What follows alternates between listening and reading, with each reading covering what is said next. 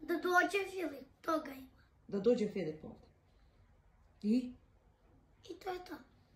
Pa šta mi onda vičeš to ne može, nema ovoga, nema onoga. Zato što ne može da onako bude...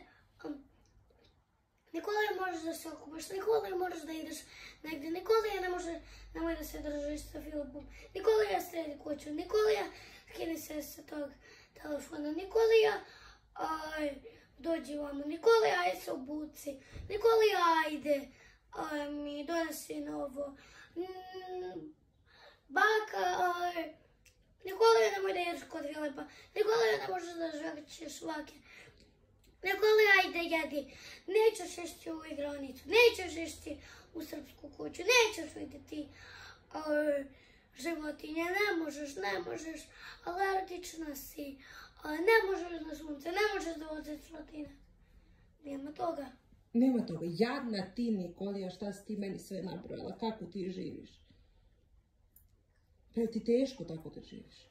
Aha. Baš, baš ti teško. Pa kako izdržavaš? A? Pa, Kako ti izdržavaš sav taj teror? danas.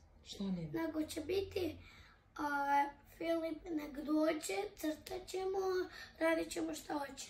Nema ono, a, mi razmišljamo da li ste vi na terasi, da li ste unutra, da li jedete nešto, da li ono, da li ono.